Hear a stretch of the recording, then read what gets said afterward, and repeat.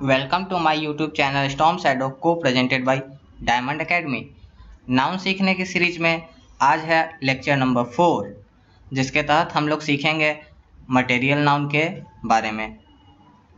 इस वीडियो को लाइक करें शेयर करें और चैनल को सब्सक्राइब करना ना भूलें।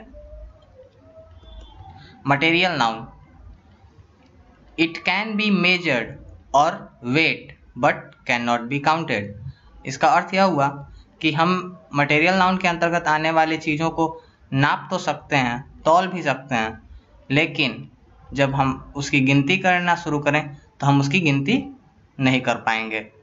ऐसे, ऐसी चीज़ें मटेरियल नाउन के अंतर्गत आती हैं। जैसे शुगर चीनी। चीनी को हम लोग तौल तो सकते हैं, लेकिन उसकी हम लोग काउंटिंग नहीं कर सकते, गिनती नहीं कर सकते। वाटर वाटर को भी हम लोग लीटर में नाप लेते हैं, लेकिन गिनती उसकी हम लोग नहीं कर पाएँगे। इसके फैक्ट्स के बारे में।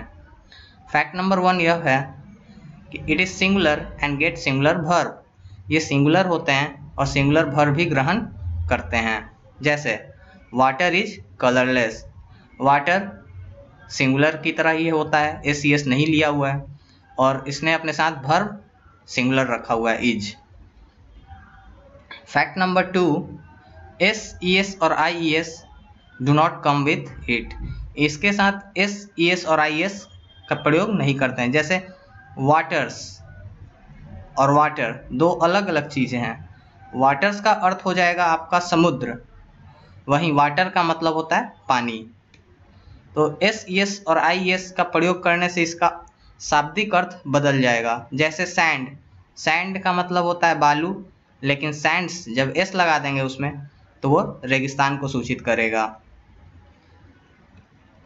अब फैक्ट नंबर थ्री यह आमतौर पर जनरली अपने पहले आर्टिकल ग्रहण नहीं करते हैं।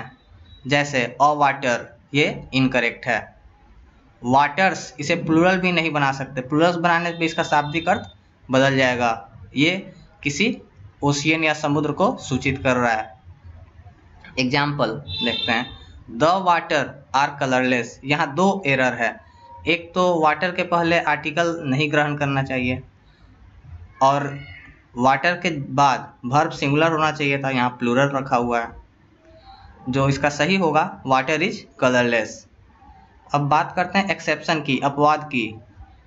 ड्रेक्स ड्रेक्स का हिंदी होता है कचड़ा ड्रेक्स एक ऐसा शब्द है, एकमात्र ऐसा शब्द है, जो कि मटेरियल नाउन होने के बाद भी प्लूरल फॉर्मेशन में रहता है। और भर्ब भी प्लूरल ग्रहण करता है।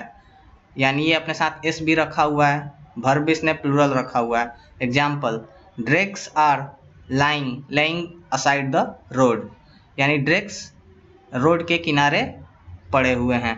यानी कचरा फैला हुआ है रोड के किनारे।